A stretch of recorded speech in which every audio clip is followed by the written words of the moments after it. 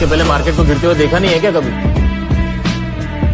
इतने दिनों बाद खुला है तो थोड़ा गिरेगा। धूल चाट के वापस खड़ा हो जाए। और भूल गए क्या? हमारी तो शुरुआत ही गिर के हुई। इसमें नया क्या हो रहा है?